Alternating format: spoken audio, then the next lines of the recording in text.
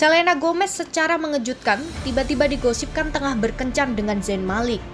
Isu ini beredar setelah pengguna TikTok, Clarissa Garcia, memaparkan pernyataannya yang membuat netizen berspekulasi tentang hubungan kedua selebriti itu. Clarissa memposting sebuah video yang memperlihatkan chat bersama temannya. Kebetulan, temannya itu merupakan owner dari salah satu restoran di New York. Teman Clarissa mengklaim bila Zayn Malik dan Selena terlihat tengah makan bersama di restorannya. Tak hanya makan saja, temannya juga melihat bila kedua bintang itu berciuman mesra.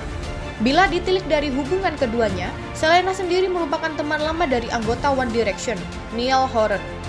Mantan kekasih Justin Bieber itu juga menjadi salah satu dari 18 orang yang difollow Zayn Malik di Instagram pribadinya.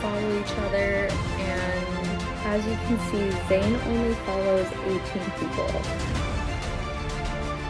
Selena being one of them. Hal ini membuktikan bisa saja keduanya menjalin hubungan baik di belakang layar. Namun, sepertinya isu kencan mereka tidaklah benar, mengingat belum adanya bukti valid yang menjelaskan soal keadaan asli kedua bintang itu.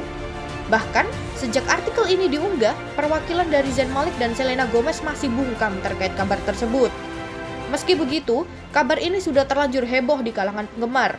Pengguna TikTok ramai menyampaikan pendapatnya. Ada yang mendukung bila benar Zen dan Selena berkencan, namun ada pula yang merasa keduanya tak cocok bila disandingkan bersama. Kabar ini seakan membuka memori netizen di mana mereka menemukan fakta bila Selena sepertinya pernah tertarik dengan Zayn. Saat ia diwawancara di karpet merah tahun 2010 silam, Selena ditanya siapa anggota One Direction yang ingin dia cium. Sambil tersenyum dan terkikik, bintang Another Cinderella Story itu mengatakan Zayn lah orang yang diinginkannya. Baca berita selengkapnya hanya di www.tabloidnyata.com.